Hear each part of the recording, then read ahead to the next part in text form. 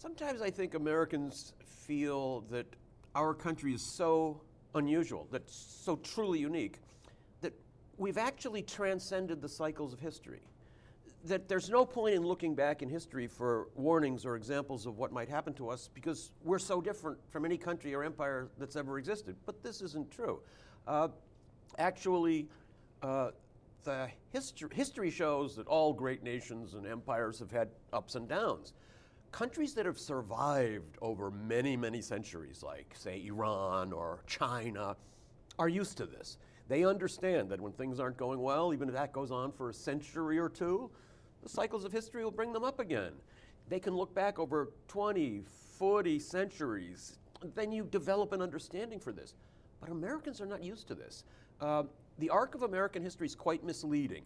It tells us that we always get richer and stronger and more powerful and more beloved. But that's never happened with any country in history. And I think right now we're at the moment where we're starting to realize that that won't be our fate forever. I'm not sure we're psychologically prepared for this, for the fact that the U.S. is not going to be able to dictate the way the world runs indefinitely. Uh, it's important for us to recognize that cycles of history also affect us and not to be thrown into a panic when we realize that other forces in the world are emerging and that at least our relative power is inevitably going to decline over time. The beloved part uh, strikes me as, oh boy, we are not beloved. at least in many places we are not beloved. Um, you add something else of enormous interest. It says, uh, the Dulles brothers added two other convictions, both bred into them over many years. One was missionary Christianity, which tells believers that they understand eternal truths and have an obligation to convert the unenlightened. Alongside it was the presumption that protecting the right of large American corporations to operate freely in the world is good for everyone. I mean, that, those are so contradictory that it, you just have to laugh. But anyhow, why don't you elaborate them? One of the reasons I find the story of the Dulles brothers so fascinating is that they really reflect America. The forces that shaped John Foster Dulles and Allen Dulles are the forces that shape this country. And when we understand them, I think we understand our country better and we understand better why we behave the way we do in the world. So, what were those forces? I think there were three important ones. First of all, they grew up in this very elite environment. Their grandfather had been Secretary of State, their uncle was Secretary of State.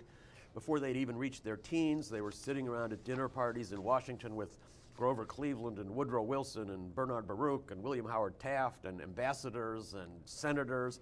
Uh, through these experiences, they assimilated this idea of American exceptionalism.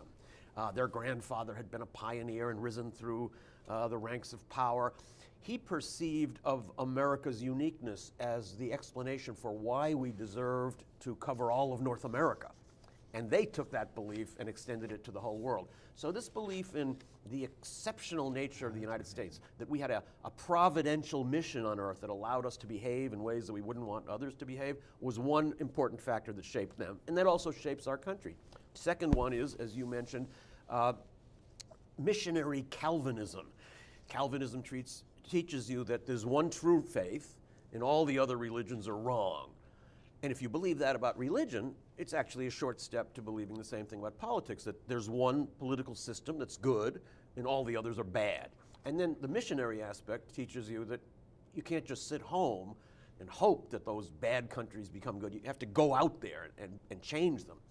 And the third factor that shaped them definitely was their decades of work representing the largest American multinational corporations at this law firm in uh, New York, Sullivan and Cromwell.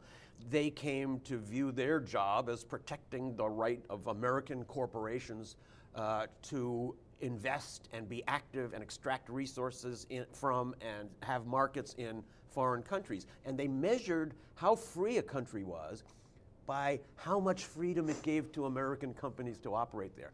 So those three factors, the belief in American exceptionalism, the missionary Calvinist ideal and the service of, Amer- of American corporations shaped them and I think shaped us and our foreign policy. Religiosity was an everyday matter in their homes. These people came there and ate dinner, and so they they were exposed to this all the time. And Al, I think it was Allie who once, when he was a very little boy, eight or nine, he'd go upstairs and he, he'd write down what people had said, which for a kid that age, this is not normal. it's quite a remarkable story. He'd be at these dinner parties given by his grandfather for all these eminent figures, and then the boys couldn't participate in the dinner because they were just little kids, but they listened, and then they would go up and go to bed, except Allen, future CIA director, did not go to bed.